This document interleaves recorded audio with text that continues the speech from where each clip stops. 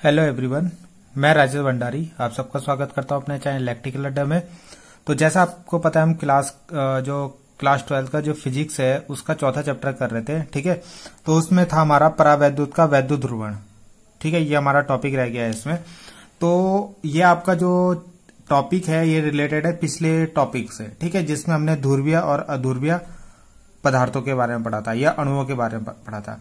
तो हमने जो पिछली वीडियो में पढ़ा था, वो हमने पढ़ा था कि परावैद्युत जो पदार्थ होते हैं, वो दो तरीके के होते हैं। एक ध्रुवीय, एक अध्रुवीय। ठीक है?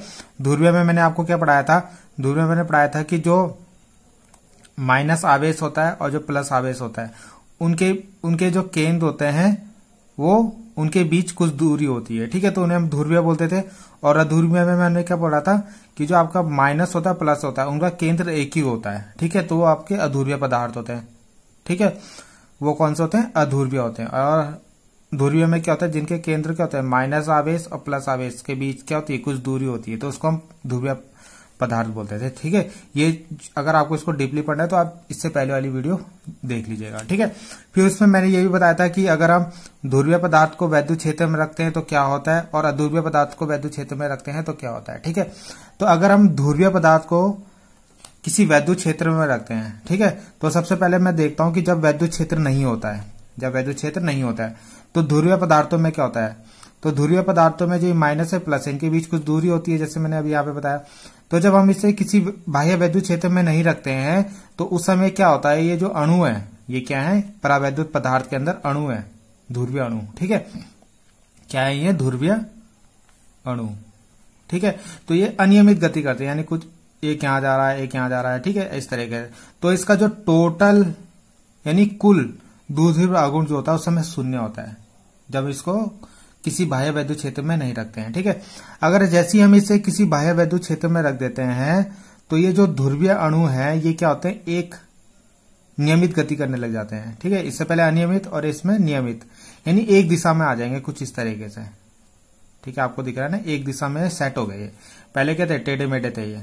ठीक है? तो जैसे आपका वैद्युत क्षेत्र में आप इसे रखते हो, जब वैद्युत क्षेत्र ज़ीरो नहीं होता है, उस समय इसमें क्या आ जाता है? द्विधुर आगुण आ जाता है। द्विधुर आगुण आ जाता है। ठीक है? तो ये भी मैंने आपको पिछली वीडियो में पढ़ा दिया था।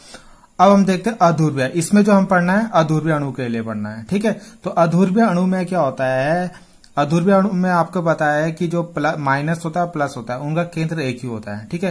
तो ऐसे पदार्थों को हम अधूर्व्य पदार्थ कहते हैं, ठीक है? अधूर्व्य पदार्थ कहते हैं। और इसमें देखो, इसमें क्या होता है? जैसी आप देखोगे अधूर्व्य पदार्थ या परावैद्युत पदार्थ में तो इसमें क्या होता है? इस तरीके से, इसके अणु क्या होंगे? कुछ इस तरीके से होंगे। ठीक है? यानी इसका माइनस और प्लस दोनों का केंद्र यही है, जबकि इसमें आप देख रहे थे अलग अलग माइनस अलग लिखा है, प्लस अलग लिखा है, ठीक है?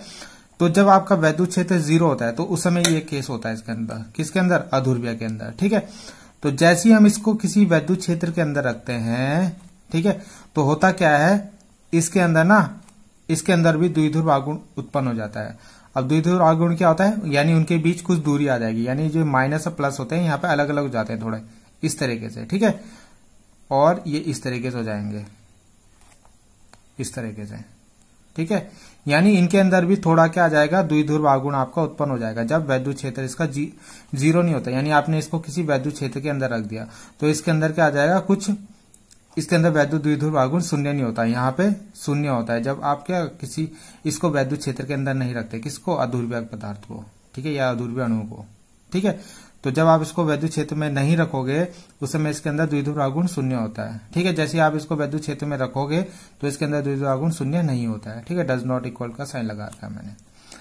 तो यही इस परावैद्युत का वैद्युत ध्रुवण होता है। ठीक है? यानी जैसे आपने इसको किसी वैद्युत क्षेत्र में रखा, किसी परावैद्युत पदार्थ को, और उसके अंदर क्या हो गया? ध्रुवण उत्पन्न हो गया तो इसी को क्या बोलते हैं? परावैद्युत का वैद्युत ध्रुवण। ठीक है?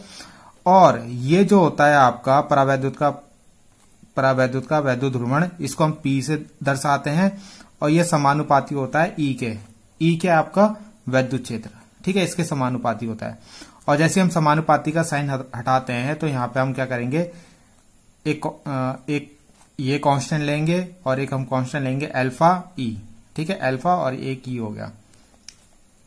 दोनों इसमें वेक्टर क्वांटिटी है। ठीक है एप्साइलन नॉट को तो आपको पता है क्या बोलते हैं? ठीक है, निर्वात की वैद्युशीलता, ठीक है? निर्वात की वैद्युशीलता बोलते हैं। ये सब आपने पहले चैप्टर में पढ़ा है। और अल्फ़ा को हम यहाँ पे क्या बोलते हैं? अल्फ़ा का जो है इसमें मान, इसको हम बोलते हैं आणविक, एक मिनट आणविक, ठीक है? ध्रुवणता, आणविक ध्रुवणता, ठीक है? अल्फ़ा को बोलते हैं इसमें। तो ये आपको याद रखना है आणविक ध्रुवता इसे कहते हैं। ठीक है? तो ये फॉर्मूला आपको याद रखना है। ठीक है? जो पी होता है P vector equal to epsilon nought alpha E vector ठीक है? तो ये आपको इसमें याद रखना है। एक चीज़ आपको इसमें ये एक, एक चीज़ और याद रखना है माना ये जो इसके अंदर अणु है ना एन है। ठीक है? यानी इसके यहाँ पे मैं इसको कर देता हूँ। प्रति एकांक आयतन में ठीक है? अगर कितने? एन अणु हो तो। हो तो। तो यहाँ पे जो ध्रुवण की वैल्यू वै, वैल्यू हो जाएगी वो कितनी हो जाएगी? एन की मल्टीप्लाई कर देंगे इसमें बस। ठीक है? एन की मल्टीप्लाई तो ये फॉर्मूला इसका बन जाएगा। प्रति एकांक मतलब इसका अगर मान लो कोई इतना एरिया हम ले लें इसके अंदर कितने अणु आते हैं? अभी तो एक अणु है अगर मान लो यहाँ दो है तो दो की मल्टीप्लाई कर देंगे। तीन है तो तीन की मल्टीप्लाई कर देंगे। तो उसका फॉर्मूला ये बन जाएगा। ठीक है? तो ये था आपका परावैद्युत का वैद्युत ध्रुवण अब हम इसमें नेक्स्ट देखते हैं। नेक्स्ट तो इसमें आपका वैद्युत प्रवृत्ति या इलेक्ट्रिक ससेप्टिबिलिटी ठीक है? तो इलेक्ट्रिक ससेप्टिबिलिटी या वैद्युत प्रवृत्ति हमें यह बताता है कि हमारा जो प्रावैद्युत पदार्थ, जो अभी हम पढ़ रहे थे यहाँ पे, प्रावैद्युत पदार्थ मतलब या ध्रुवीय या अध्रुवीय, वो कितनी जल्दी कितनी जल्दी या कितनी आसानी से आपके उसके किसी, कितनी आसानी से उसके अंदर वैद्युत द्विधुर उत्पन्न करता है। ठीक है? तो जैसे आपने ऊपर पढ़ा, ये पदार्थ कितनी जल्दी इसके अंदर वैद्युत द्विधुर उत्पन्न हो रहा है या इसके अंदर कितनी जल्दी वैद्युत द्विधुर उत्पन्न हो रहा है? वो आपको कौन बताता है? वैद्युत प्रवृत्ति या इलेक्ट्रिक ससेप्टिबिलिटी ठीक है? तो वैद्युत प्रवृत्ति हमें यह बताता है कि बाह्य वैद्युत क्षेत्र में परावैद्युत पदार्थ कितनी आसानी से वैद्युत द्विध्रुव उत्पन्न करता है। ठीक है? उसी को हम बोलते हैं वैद्युत प्रवृत्ति। ठीक है? आया समझ में? सिंपल लैंग्वेज में मैंने आपको बताया। है अब ये क्या होता है? हर पदार्थों के लिए अलग होता है। हर माध्यम के लिए अलग होता है। ठीक है? अगर निर्वात में अगर हम बात करें, निर्वात में जो वैद्युत प्रवृत्ति होती है वो कितनी होती है? ज़ीरो होती है। ये आपको, ये एक नंबर का क्वेश्चन है आपको, जो इंपॉर्टेंट है आपके लिए, ठीक है? निर्वात में वैद्युत प्रवृत्ति आपकी ज़ीरो होती है, यानी इलेक्ट्रिक ससेप्टेबिलिटी ज़ीरो होती है। क्योंकि निर्वात को तो हम, निर्वात में द्विध्रुव आगुण उत्पन्न ही नहीं कर सकते तो उत्पन्न ही नहीं कर सकते तो उसकी वैल्यू ज़ीरो हो जाएगी, ठीक है? तो जहाँ पे हम द्विध्रुव आगुण उत्पन्न कर सकते हैं, वहीं पे इलेक्ट्रिक ससेप्टेबिलिटी या वैद्युत प्रवृत्ति की कोई वैल्यू होगी, ठीक है? अगर हम इसका फॉर्मूला देखें तो ये भी आपका वहीं से निकलता है, जैसे आपने देखा अभी जो P होता है, P वेक्टर वो डायरेक्टली प्रोपोर्शनल होता है E वेक्टर के, यानी जितना ज़्यादा आप क्या करोगे इलेक्ट्रिक फ़ील्ड उत्पन्न करोगे, या जितना ज़्यादा उसको बाह्य वैद्युत क्षेत्र दोगे, उतना ज़्यादा उसके अंदर द्विध्रुव उत्पन्न होगा। द्विध्रुव समझ में हो होगा अगर आप क्या होता है? उनके चार्ज क्या हो जाएँगे उतनी दूर चले जाएँगे उनके बीच की डिस्टेंस उतनी ज़्यादा उत्पन्न हो जाएगी, ठीक है? तो जब आप यहाँ पे प्रोपोर्शनल का साइन हटाते हो, इससे पहले तो हमने N E nought epsilon nought और एल्फा और ई e लिया था। इस बार जो हम लेंगे वैल्यू इस बार हम वैल्यू लेंगे, ठीक है, वो लेंगे हम काई इस तरीके से बनाते हैं इसको, ठीक है? और ई e वेक्टर ठीक? यहाँ पे आप अपसाइलेंट नॉट भी ले सकते हो, मैंने अपसाइलेंट नॉट नहीं लिया। तो काई की वैल्यू जो यहाँ से आएगी, वो आएगी आपकी P vector upon E vector ठीक है? और जो काई है आपका, यही क्या आपका, वैद्युत प्रवृत्ति है। वैद्युत प्रवृत्ति। ठीक है? तो इतना आपको इसके अंदर याद रखना है कि वैद्युत प्रवृत्ति को हम किससे, काई से दर्शाते हैं। ठीक है? तो ये आपका वैद्युत प्रवृत्ति है।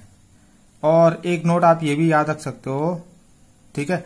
यानी शॉर्ट में अगर मैं दिखाऊँ आपको, क्योंकि ये इसको प्रूफ करने की ज़रूरत तो है नहीं, एक मिनट है, ठीक है? इसको प्रूफ करने की ज़रूरत तो है नहीं तो एक आप ये भी याद रख सकते हो कि जो के होता है के बोलो या ई e आर बोलो, ठीक है? वो किसके बराबर होता है? वन प्लस आर के।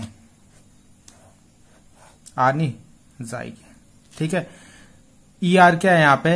ई आर है आपका ई आर जो होता है वो रिलेटिव परमिटिविटी ठीक है? या इसको बोलते हैं माध्यम का परावैद्युतांक माध्यम का परावैद्युतांक ठीक है? इसको ई आर से दर्शाते हैं। ठीक है? और एप्सल ये काई तो आपको पता ही है, वैद्युत प्रवृत्ति। तो एक फॉर्मूला आप इसको भी याद रख सकते हो डायरेक्ट ठीक है? तो ये इन दोनों में ये रिलेशन होता है। माध्यम का परावैद्युतांक या इसको आपेक्षिक परावैद्युतांक भी बोलते हैं, जिसको ई आर से दर्शाते हैं, ठीक है? तो ये बराबर होता है वन अपॉन एप्सल को। तो आप इसे भी नोट करके याद कर सकते हो, ठीक है? तो इतना था इसके अंदर आपका। तो आई होप आपको ये समझ में आया होगा कुछ। Thank you